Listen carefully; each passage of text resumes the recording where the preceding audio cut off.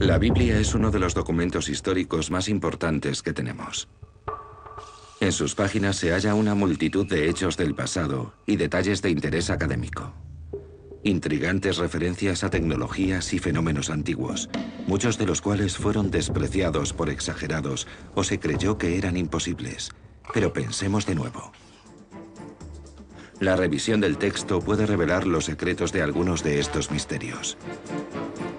¿Fue la célebre Torre de Babel real? ¿Pudieron los israelitas haber construido algo más alto que cualquier edificio actual? ¿Mató David a Goliat de la misma forma que cuenta la Biblia? ¿Descubrieron los antiguos una técnica milagrosa capaz de convertir el agua en fuego? ¿Y pudo el arca de la alianza volar gracias a una superciencia tan misteriosa que solo ahora comenzamos a redescubrir? La recreación de fenómenos supernaturales usando las últimas tecnologías y la descodificación de las palabras de la propia Biblia nos permitirán estudiar la tecnología olvidada de Tierra Santa. Grandes Descubrimientos comienza su investigación de la ciencia perdida de la Biblia. Grandes Descubrimientos. La ciencia perdida de la Biblia.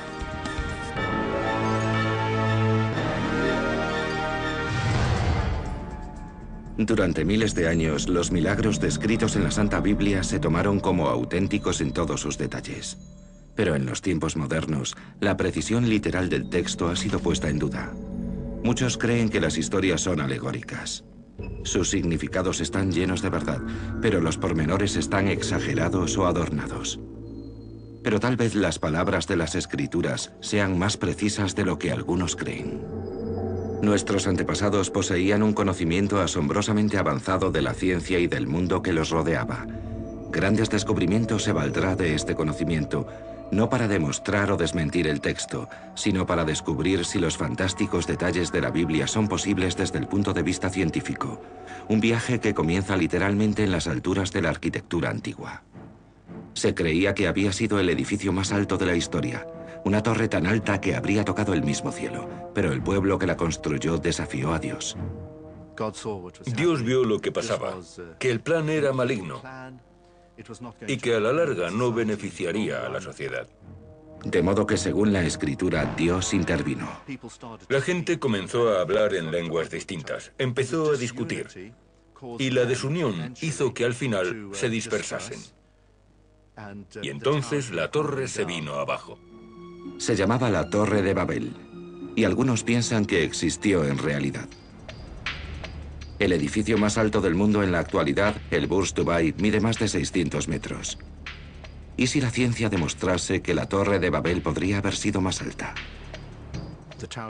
La Torre de Babel fue como cualquier rascacielos que tenemos ahora en nuestras ciudades. Normalmente el final está cubierto de nubes. Decían que era tan alta que tocaba el cielo. Construyamos una ciudad con una torre tan alta que roce los cielos. Los historiadores y arqueólogos de nuestro tiempo creen que esta historia es una exageración. Pero ¿y si la ciencia pudiera demostrar que en realidad los antiguos poseían la tecnología para erigir esas enormes construcciones?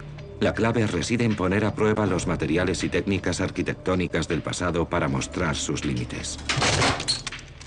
Usando directamente la información contenida en las páginas de la Biblia, los investigadores usan la ciencia moderna para calcular la altura que alcanzaron los ingenieros de la época. La historia cuenta que para construir la torre usaron ladrillos. ¿Qué altura podía alcanzar un edificio antiguo de ladrillos?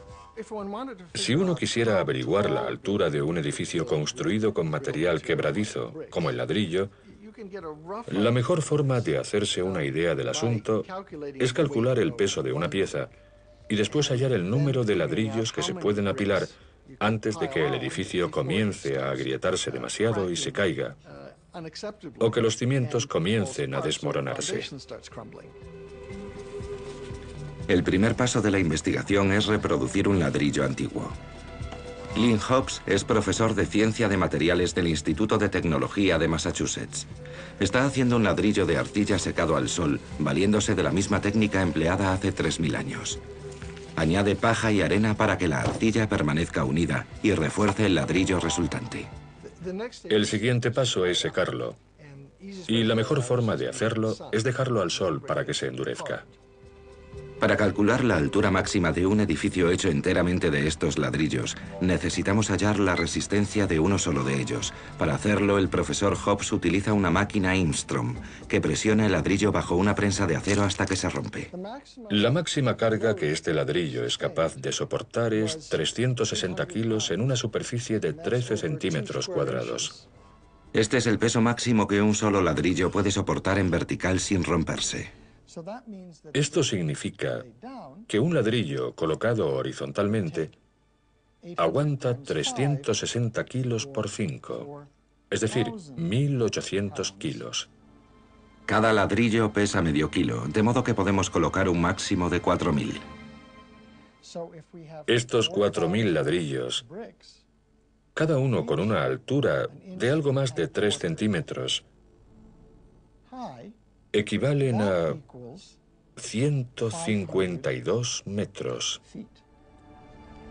Una estructura así es tan alta como el obelisco a Washington de la capital de los Estados Unidos. Pero las pruebas arqueológicas indican que la Torre de Babel podría haber sido incluso más alta. La historia se remonta a la antigua Mesopotamia, en los actuales Siria e Irak, una zona en la que se conservan las ruinas de antiguas megaestructuras llamadas zigurats. Los zigurats eran los rascacielos de la antigua Mesopotamia. Sobre sus azoteas había templos que se creía eran residencias de dioses. Las docenas de ellos que quedan hoy han sido datadas por los arqueólogos en la misma época de la Torre de Babel. Se crearon alrededor del año 2000 a.C.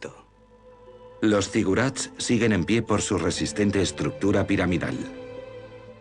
Estos edificios son parte de una tradición muy antigua. El pueblo que habitaba en antiguo Irak estaba muy acostumbrado a trabajar con los materiales que usaba para las plataformas. Sabían que el progresivo mayor peso de estas terrazas requería repartir la carga.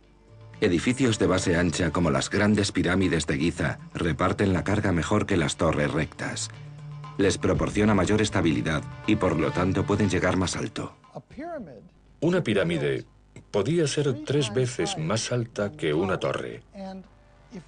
Así que si tomamos los 152 metros de antes y los multiplicamos por tres, el resultado es una pirámide de 456 metros hecha de ladrillos secados al sol. Es casi medio kilómetro, algo bastante impresionante para un montón de barro que hemos desenterrado del suelo. Así que usando ladrillos cocidos al sol dispuestos en forma de pirámide, podríamos llegar a los 456 metros. Es más que lo que mide la construcción de ladrillo más alta del mundo, el edificio Chrysler. Pero resulta asombroso que la Torre de Babel hubiese podido ser incluso más alta gracias a una nueva tecnología revolucionaria tan importante que incluso sale mencionada en las mismas páginas de la Biblia. Se decían, haremos ladrillos y luego los coceremos a fondo. Hornear los ladrillos modifica sus propiedades de forma muy drástica. Los hace mucho más fuertes. Calentar un ladrillo a 800 grados durante 24 horas, como hacían en Mesopotamia, hace que las partículas se mantengan unidas. El resultado es un material más fuerte y terminado. Pero, ¿cuánta altura y resistencia habría ganado la Torre de Babel si la hubiesen construido con ladrillos horneados? El ladrillo cocido al sol no pudo con más de 360 kilos. Se supone que el horneado aguantará mucho más. En estos momentos tenemos 450 kilos sobre él, mucho más que en el caso del ladrillo secado al sol. Vemos que comienza a agrietarse con unos 900 kilos. Ahora subimos a 2.250, casi 2.700. Se acabó. Hemos visto que casi explota. 2.700 kilos, lo que significa que este ladrillo es siete veces y media más fuerte que el anterior. El profesor Hobbes usa este resultado para hacer los mismos cálculos que antes y averiguar la altura máxima de las construcciones de la antigua Mesopotamia. Tres kilómetros. De modo que, en principio, si usamos ladrillos horneados, podríamos construir pirámides de 3 kilómetros de altura, hasta el cielo. Sorpresa. Este valor es cinco veces mayor que el del edificio más alto del mundo. Así que en teoría es posible que los antiguos mesopotamios construyeran hasta tocar el cielo, tanto así que habrían sufrido mal de altitud. Pero en la práctica, ¿contaban con los medios para hacer algo así? Aunque en teoría podrían haber erigido un figurat de 3 kilómetros, en realidad habría sido imposible debido a la cantidad de energía requerida para hornear ladrillos. Entendemos que la historia de la Torre de Babel sucedió en realidad. Simplemente echa un vistazo a cualquier rascacielos urbano. Son grandes torres que tocan el cielo. ¿Pueden los analistas modernos de la Biblia arrojar luz sobre una de las historias más célebres jamás contada? La de un niño pastor llamado David, quien con una sola mano mató al gigante Goliat. ¿Pueden también averiguar qué arma y qué método había que fueran tan potentes como para abatir al gigante de un solo golpe? Es una de las historias sobre el triunfo de los humildes más famosas que se hayan contado. Al frente de una fuerza invasora pertrechada con armas tecnológicamente superiores a las de los defensores, se encuentra un guerrero gigante temido por todos. Al final resulta abatido por una piedra lanzada por un niño llamado David. Con una onda y una piedra, David golpeó al gigante filisteo. David venció no solo a Goliat, sino a los filisteos. Y al hacerlo, fue la fuerza que motivó el comienzo de la historia de Israel. ¿Qué dificultades habría encontrado un niño para alcanzar y matar a un gigante con un solo golpe en el blanco?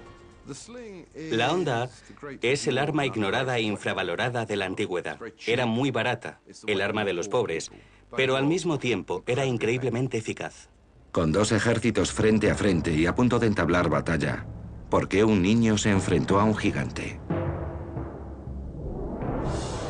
En el siglo XI a.C., el pueblo de Israel estaba enfrentado a sus enemigos, los filisteos. Los filisteos llegaron de la zona de las islas del mar Egeo y estaban equipados con armas modernas para derrotar a una pequeña e insignificante nación. El campeón filisteo era Goliat, que se movía cubierto por una armadura de bronce. Tenía una gran armadura, cuyo peso real, el que menciona la Biblia, es de cerca de 60 kilos. Así que tenemos esta criatura monstruosa y descomunal. Cuando Goliat propuso resolver la batalla en un solo combate, David se presentó voluntario para hacerlo. Pero David no era cualquier niño, se convertiría en el rey David. Tras la de Jesús, su biografía es la más extensa de la Biblia. Creo que David tenía un plan, porque según le dice a Saúl, puedo ocuparme de Goliat igual que lo hago de los lobos y osos que atacan mi rebaño. Ahora mi rebaño es el ejército de Israel. Mi arma es la onda y ahí tenemos al lobo y al oso. Grandes Descubrimientos utilizará la tecnología moderna y los indicios que se encuentran en la Biblia para descubrir la técnica de David. Primero debemos encontrar la onda perfecta para un combate a uno. La onda más avanzada de aquellos tiempos era una adaptada para crear más potencia. Este artefacto que estoy sosteniendo se llama onda de mango, que consiste en una onda atada al extremo de una vara. La vara aumenta el alcance de la onda y por tanto incrementa la potencia de cada disparo. Esta arma era la favorita para lanzar proyectiles más pesados como las bombas primitivas usadas como morteros en los antiguos campos de batalla. Pero ¿fue esta la mejor onda que David podría haber usado contra Goliat? La idea de que David usase una onda de mango es bastante improbable, porque no es un arma especialmente precisa. Lo que yo prefiero pensar es que los honderos bien entrenados eran como los francotiradores de ahora. Eran muy habilidosos, estaban bien entrenados y podían lanzar un pequeño proyectil con una precisión asombrosa. De modo que David usó una onda de mano. El tipo de ondas usadas en Oriente Próximo a finales de la Edad de Bronce se parecen mucho a esta. Está hecha de cáñamo, es la clase de proyectil que se usaba en Judea, la actual Israel. Estamos buscando una con una forma y un tamaño muy específicos, que tenga un aspecto ovalado suave. Esto mejora la aerodinámica del proyectil y maximiza su precisión. Necesitamos cierta cantidad de peso para que el proyectil se mantenga en la bolsa sin caer. Si la onda pesa poco, caerá de la bolsa mientras volteamos la onda. Si pesa demasiado, no alcanzará la velocidad adecuada cuando lo lancemos. La onda ideal debe estar entre estos dos valores. Eligió cinco cantos rodados del río y con su onda en la mano se acercó al filisteo. Ahora que tenemos una onda y una piedra como las que habría usado David, ya podemos poner a prueba la capacidad del arma. Luis Pons Livermore es el campeón de onda de las Islas Baleares, durante milenios la sede de los mejores honderos del mundo. En la antigüedad, las Islas Baleares tenían la reputación de ser la tierra de los mejores honderos. Han heredado de sus antepasados el dominio de este instrumento. Luis ha viajado a Tierra Santa para probar el poder destructivo de esta réplica metálica de una onda de lana. Está investigando la técnica exacta empleada por David para abatir a Goliat. La onda es como una programación del brazo más que nada. Eh, tiene como tres partes. Una es el anillo que tenéis aquí, otra es la bolsa donde apoya la piedra y al final acaba aquí con un nudo y abierto. Simplemente cuando tienes el lado puesto en el dedo lo coges aquí como una pinza. No es toda la mano, es simplemente los dos dedos anular y este de aquí. Coges de aquí, la piedra va apoyada encima, simplemente es luego dar un par de vueltas aquí, estirar el brazo y abrir la mano. El ruido que oímos en la suelta es una explosión sónica. Debido a la energía liberada, el final de la onda rompe la barrera del sonido. Luis ha creado un blanco de Goliat de 2,7 metros, la frente representada por una célula de carga, un aparato que mide los impactos. Su área es de tan solo unos pocos centímetros cuadrados, el equivalente a la zona de la frente de Goliat que no estaba protegida por la armadura. El medidor indicará la fuerza con la que la piedra de David golpeó la frente de Goliat. Para un proyectil del tamaño de un canto rodado, ¿cuánta fuerza necesitamos para matar? Si hablamos de la fuerza necesaria para matar a alguien de un golpe en el cerebro, estamos hablando de más de 3.000 newtons sobre un área de 30 milímetros cuadrados. Eso basta para matar a alguien. Las ondas creadas por el impacto atraviesan el cerebro y hacen que choque contra su cubierta, lo que causa un daño irreversible al tejido cerebral tan grande que ya no puede seguir funcionando. 3.000 newtons o 3 kilonewtons es la fuerza necesaria para partir en dos un bloque de cemento. Luis prepara su onda para la prueba. El blanco es pequeño, el equivalente a la zona de la frente de Goliat desprotegida por la armadura.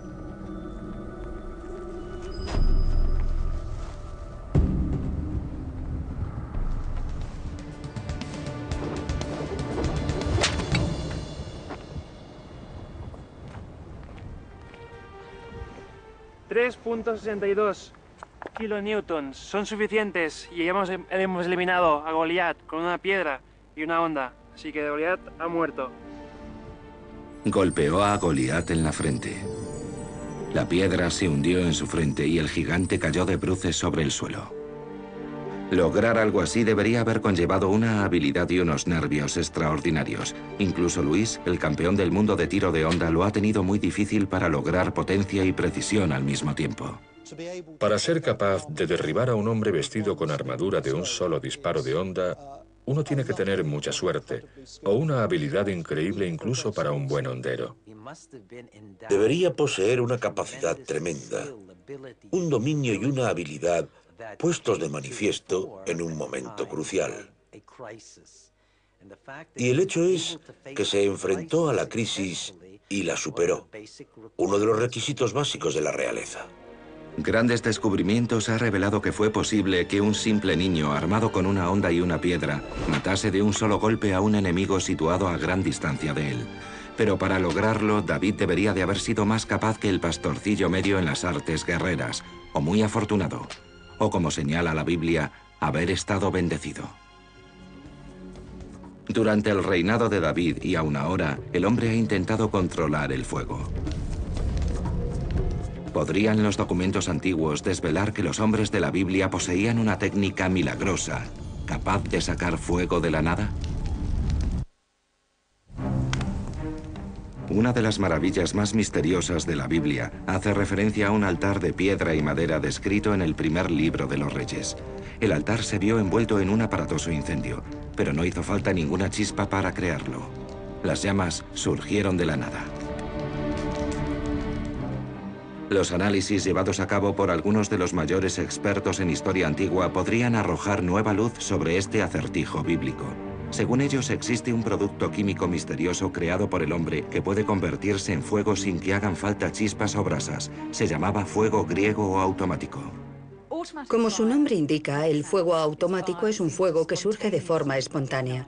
Se piensa en ello como algo misterioso, sobrenatural, algo que obedece a fuerzas mágicas. Grandes Descubrimientos está investigando los secretos del fuego griego. La historia comienza hace casi 3.000 años en el Monte Carmelo, Israel. Según la Biblia, los israelitas habían rechazado a Jehová y adoraban a Baal, el dios de la lluvia. Solo quedaba un sacerdote fiel a Jehová, el profeta Elías. Elías se presentó ante el pueblo y dijo, si el Señor es Dios, seguidle. Si Baal es Dios, seguidle. Pero el pueblo no respondió. Arrojó el guante y dijo, Vamos, traedme a vuestros profetas de Baal y veremos quién es el Dios verdadero. Así que Elías los retó. Él y los profetas de Baal construirían dos altares y llamarían a sus dioses para que los prendiesen en llamas. Les dijo a los profetas de Baal, construid vuestro altar y ofreced las plegarias que queráis. Y eso es exactamente lo que hicieron sin obtener respuesta. Los profetas de Baal habían fallado, no hubo ningún incendio. Ahora era el turno de Elías. Erigió un altar de madera, hizo que la gente construyera un surco alrededor de él y lo llenó de agua. Llenad cuatro grandes jarros de agua y vertedla sobre las ofrendas del altar de madera. Hacedlo de nuevo, les dijo, hacedlo una tercera vez. Y entonces rogó al Señor. Sálvanos, responde a nuestras plegarias. El fuego cayó del cielo y lo consumió todo. Elías consiguió que el pueblo volviera a creer en Dios. ¿Fuego sobre un altar empapado de agua? ¿Es posible que el agua fuese de alguna forma lo que encendió el fuego? Estamos acostumbrados a usar el agua para apagar fuegos, pero algunas veces el agua también puede encender un fuego. ¿Qué sustancia tendrían en la antigüedad que exhibiera una cualidad tan sobrenatural? En unos documentos redactados en Israel en el año 232 a.C. se hallan pistas acerca de esta sustancia mítica para producir fuego de forma automática. Un hombre llamado Julio el Africano, que vivía en Jerusalén, habla del fuego griego. Probablemente se trata de una mezcla de petróleo, azufre y cal viva. Debido a su gran potencia, la fórmula para conseguirlo estaba siempre muy bien vigilada. Y su secreto permaneció oculto durante cientos de años hasta que en el siglo I después de Cristo, los grandes historiadores romanos Plinio y Livio escribieron sendos relatos sobre esta poción mágica capaz de incendiar el agua. Usando sus textos y los productos químicos que describen, Grandes Descubrimientos intentará reaprender los secretos del fuego griego. Tim Gallagher es el director del Departamento de Química de la Universidad de Bristol en Gran Bretaña. Ha estado llevando a cabo experimentos usando tan solo sustancias disponibles en los tiempos de Elías. Tenemos tres componentes, óxido de calcio, es decir, cal viva, sulfuro y petróleo. Estos son los tres elementos mencionados en los textos antiguos. El azufre y el petróleo se dan de forma natural y la cal viva proviene de la quema de la piedra caliza. Vamos a intentar provocar un incendio combinando los tres y añadiendo agua. La forma más fácil de provocar un fuego con agua es una reacción que genere mucho calor. En principio, el calor prende cualquier cosa cercana e inflamable. El fuego se crea cuando un combustible se calienta. Cuando mezclas agua y cal viva, generas un montón de calor. La reacción del agua con la cal es altamente exotérmica. Una reacción exotérmica es aquella que libera calor en la atmósfera. Esto ocurre debido a los enlaces químicos que se forman entre el agua y el calcio en la cal viva. Lo que voy a hacer es cocinar un huevo con el calor generado por la cal. Ahora estamos a más de 260 grados. No sabía que pudiésemos generar tanto calor tan rápido. Si producimos este calor en presencia de algo que lo prenda, entonces hemos logrado crear fuego con agua. Pero lo que no tenemos aquí es algo inflamable. De modo que Tim va a repetir la prueba en presencia de dos sustancias inflamables, petróleo y azufre, con la esperanza de que el calor los haga convertirse en fuego. Pero este experimento se realizará a mucha mayor escala. Tim ha fabricado una réplica del altar de Elías. El altar consta de 12 grandes piedras que representan a las 12 tribus de Israel. Hemos puesto cal en nuestra trinchera y aquí tenemos unos pedazos de azufre. Lo último que tenemos que hacer es lo que hizo Elías al final. Elías vertió 12 barriles de agua sobre el altar. Creemos que parte del líquido era en realidad petróleo. El petróleo parece agua y se vierte igual. Y finalmente intentaremos iniciar el fuego mediante el calor generado por la mezcla de cal y agua. Para que el azufre se incendie, la cal y el agua tienen que elevar la temperatura del ambiente a más de 230 grados para que el azufre se vuelva incandescente. Una vez que esto ocurre, el petróleo y el altar deberían incendiarse. En la prueba de laboratorio de Tim, la reacción de la cal viva llegó a los 275 grados. Así que en teoría este experimento debería funcionar. Pero de hecho, no se ha realizado en miles de años.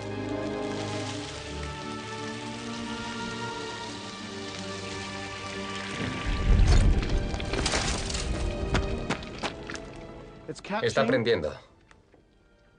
El petróleo se prende y esto expandirá el fuego. Como vemos, se está propagando. Todo viene de la zona del altar donde está la cal viva. Podemos ver cómo va creciendo el fuego. Pero esto no demuestra cómo Elías creó su fuego. Lo que nos dice es que es posible que el fuego se hubiese creado así. Los antiguos conocían la cal y su reacción con el agua, y tenían petróleo. Así que es cierto que uno podría haber usado estos conocimientos químicos para suscitar un fuego usando agua. Hace miles de años la gente poseía conocimientos avanzados de estas sustancias y sus reacciones, pero cómo las usaron y cuánta sabiduría secreta continúa perdida para la ciencia son cosas que nunca sabremos. Otro secreto de aquella época muy bien protegido hacía referencia a la primera arma biológica de la historia, una miel tóxica usada por los antiguos ejércitos para envenenar a sus enemigos. Las abejas, avispas y tábanos nos dan miedo a todos. Incluso hoy en día las abejas matan a 100 personas al año. En los tiempos bíblicos, los jefes militares usaban este temor para aterrorizar a los ejércitos enemigos. Si tomamos todas las alusiones a las abejas que contiene la Biblia, nos percataremos de que algunas de ellas las presentan como un peligro, e incluso como si fuesen armas bélicas letales. Y enviaré tábanos que expulsarán a los gibitas, cananeos e hititas. La gente desarrolló muchas formas de usar a las abejas. Las metían en pequeños envases de arcilla que eran casi como granadas de mano. O ponían paneles enteros en las catapultas y los lanzaban sobre ciudades. Pero un antiguo relato del historiador griego Estrabo contiene indicios de que esta arma fue llevada un paso más allá. En el año 67 a.C. algo ocurrió en el norte de Turquía que los historiadores todavía no entienden bien. Uno de los ejemplos más extraños de guerra biológica usados contra el ejército romano. Se trataba de una ingeniosa trampa de miel.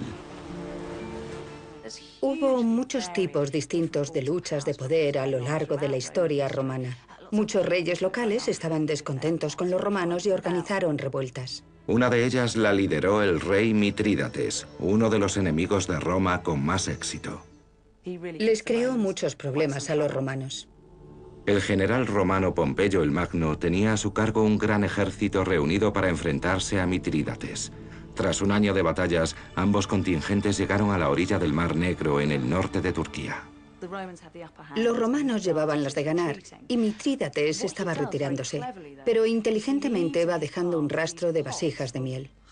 Los romanos avanzan y cuando se topan con ellas, piensan que se trata de un exquisito tributo de un ejército en desbandadas. Se la comen, pero resulta ser un veneno potente. ¿Fue en realidad esta miel un arma biológica natural diseñada por el hombre? Los soldados enloquecieron un poco, como si estuvieran drogados o borrachos. Estaban muy agitados. Algunos vomitaron y sufrieron diarrea. Después volvieron a sentirse totalmente fuera de sí. Duró unos tres días. Resulta sorprendente que la propia Biblia avisara de esta terrible arma biológica. ¿Has encontrado miel? Toma solo la que necesites para evitar llenarte y vomitar. Pero, ¿cómo puede ser tóxica la miel? La respuesta se halla en las plantas de rododendro que cubren las colinas del norte de Turquía. En la naturaleza existen muchos ejemplos de toxinas. Los rododendros son capaces de producir toxinas naturales. Estas sustancias se llaman grayanotoxinas y se encuentran en el néctar recolectado por las abejas. Esta grayanotoxina se incorpora a la miel debido al néctar que las abejas recogen en la planta del rododendro. Para saber cómo la intoxicación por grayanotoxina en la miel afecta al cuerpo, grandes descubrimientos usará un conejo de indias humano, el oficial militar retirado David Shaw. Le administraremos 400 centilitros de una solución con grayanotoxinas bajo control médico. Estoy bastante nervioso. Esta prueba es un viaje a lo desconocido. Los efectos secundarios van del mareo y la sudoración a los vómitos y el coma. El doctor Adam Canliff supervisará a Dave aquí, en el Laboratorio de Rendimiento Humano de la Universidad de Westminster, en el centro de Londres. Le someterá a una prueba que pondrá sus sistemas cardiovascular y de coordinación al límite de su capacidad. Este test será realizado dos veces, antes y después de la toma de la toxina. Dave correrá a una velocidad de 16 kilómetros por hora durante 10 minutos. La prueba medirá su ritmo cardíaco y el consumo de oxígeno en niveles bajos de actividad. El ritmo de pulsaciones era de 164 de media a lo largo de todo el periodo. También comprobamos el consumo de oxígeno, unos 3,8 litros por minuto. Lo que el músculo necesita para ejercitarse es precisamente oxígeno. De modo que cuanto más duro sea el entrenamiento, tanto más oxígeno consumiremos. Dave está en un estado de forma excelente, igual que los soldados romanos de entonces. Los resultados de las mediciones lo sitúan en valores por encima de la media, pero ¿qué efecto surtirá la toxina en su cuerpo? La grayanotoxina es altamente tóxica, así que Dave solo puede tomarla bajo control médico estricto. No lo hagan ustedes. Queremos saber si el veneno afecta a su rendimiento. En la cinta, Dave parece un poco inestable. Le resulta difícil mantenerse en el centro. Su ritmo cardíaco es 10 pulsaciones más rápido que en el experimento anterior. Y su respiración es bastante más alta que antes. Su rendimiento en la cinta se ha visto afectado bastante negativamente. Cuando examinamos los datos fisiológicos, nos dimos cuenta de que para correr a la misma velocidad tenía que hacer un esfuerzo mayor. Cualquier tipo de movimiento coordinado requerido en una batalla se vería muy afectado. Perdí el control de mi sistema cardiovascular y evidentemente los resultados muestran que estaba muy disminuido. En esencia podemos verlo como una aplicación temprana de un tipo de uso químico o biológico de la guerra. Al conseguir que las fuerzas enemigas consumieran la sustancia tóxica, crearon una especie de caballo de Troya culinario. Los resultados indican que la miel tóxica funciona obstaculizando la coordinación y acelerando la fatiga. Los tres escuadrones del ejército de Pompeyo que encontraron y se comieron la miel en ese día fatídico del año 67 a.C. se pusieron muy enfermos. Aquella noche, los romanos enfermos, que todavía estaban bajo los efectos de la toxina, fueron aniquilados por el ejército del rey Mitrídates.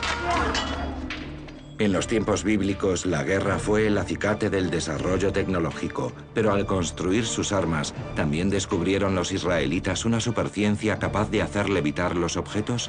Se dice que el arca de la alianza, que guarda los diez mandamientos, podía volar. ¿Podrían los investigadores modernos demostrar la verdad de esta afirmación?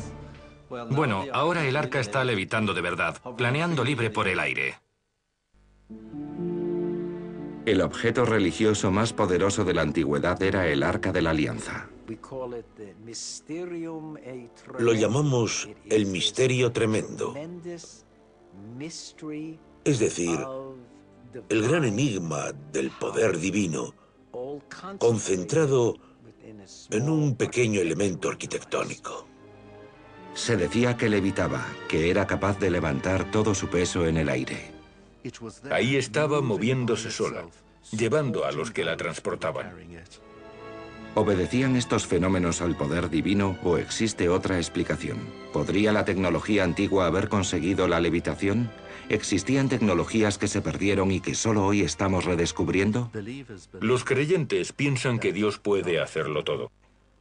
Especialmente en lo que respecta al arca que contiene los diez mandamientos entregados por Dios a Moisés en el monte Sinaí. Muchos libros de la Biblia, el Corán y la Torá mencionan el arca. Pero el relato más misterioso es el de Uza. Por el primer libro de Samuel sabemos que en los tiempos del rey David, el arca regresó a su hogar en Jerusalén. Los bueyes tiraban de un carro en el que estaba el arca. Uza se dio cuenta de que los bueyes habían tropezado y de forma instintiva temió que el arca cayese también. Así que extendió la mano para sostenerla y al instante cayó muerto. ¿Por qué?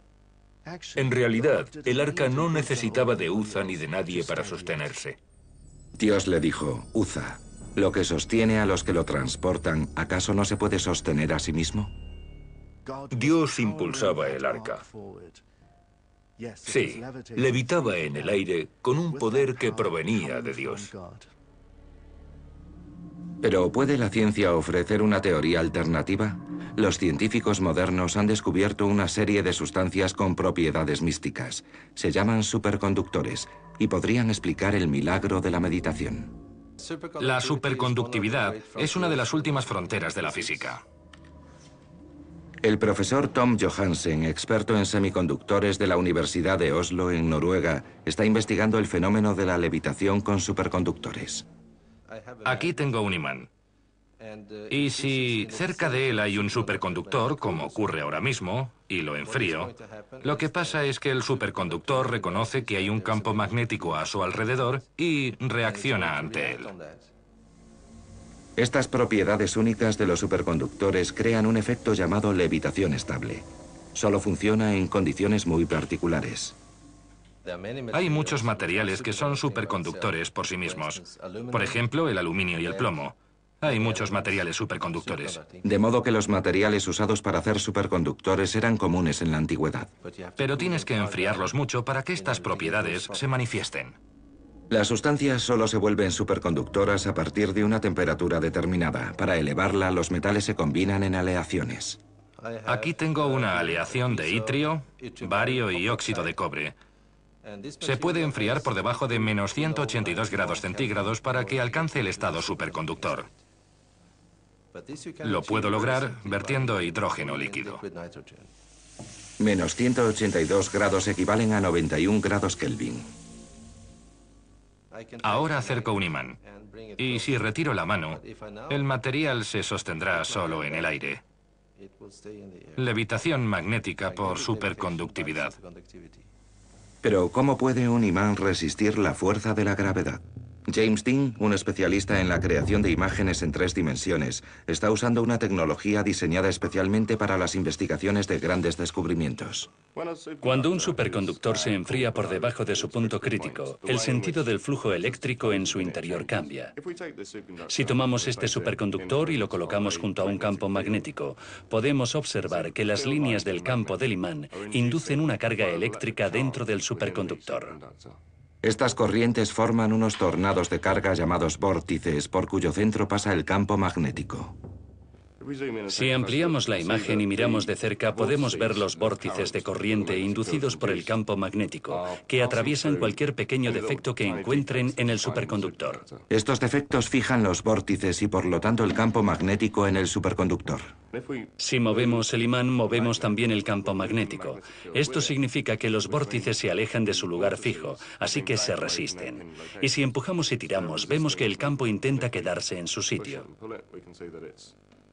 De hecho, cualquier fuerza que intente trasladar el imán y el campo magnético se encontrará una fuerza opuesta que intentará dejarlo donde estaba. Esta es la clave de la levitación estable. La fijación del campo magnético se opone a la misma fuerza de la gravedad. El imán no se mueve porque su campo magnético tampoco lo hace y levita sobre el superconductor. Si el superconductor se mueve, el imán que levita lo seguirá volando a la misma altura sobre un plano, de modo que el imán no solo levita, sino que también se mueve de forma estable por el aire. Pero, ¿pudieron los antiguos israelitas dominar esta ciencia hace más de 3.000 años? Muy a menudo, cuando estudiamos la tecnología antigua, nos sorprende la habilidad y el conocimiento que se empleaban en la producción de objetos.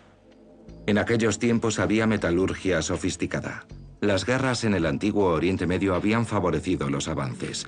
Los procedimientos de fundido de metales habían mejorado para producir aleaciones cada vez mejores para las armas. ¿Pudieron los antiguos israelitas haber descubierto esta superciencia mientras hacían las aleaciones? Si ese fue el caso, no sería el primero de una tecnología perdida que confunde a los historiadores.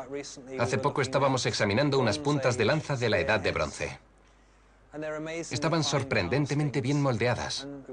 Estábamos buscando un horno moderno que pudiera replicarlas. Todos los que visitamos tuvieron muchos problemas a la hora de lograr una calidad cercana a la de los antiguos metalúrgicos. ¿Levitó el arca de la alianza gracias a una tecnología que desconocemos? Grandes descubrimientos la pondrá a prueba. Tom ha creado una maqueta del arca para llevar la levitación estable a su límite. Hacer que esta arca levite es un gran reto porque es un objeto grande y pesado. Es algo que nunca he hecho. En el fondo he colocado cuatro imanes potentes que interactuarán con los superconductores que podemos ver aquí. He colocado un separador para que cuando enfríe el superconductor exista una distancia entre él y el arca. Después los retiraré.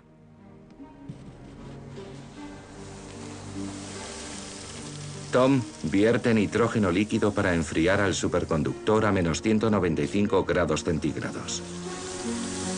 Para que el experimento sea un éxito, los cuatro bloques que sustentan el arca podrán ser retirados y el arca se sostendrá solamente gracias a los superconductores.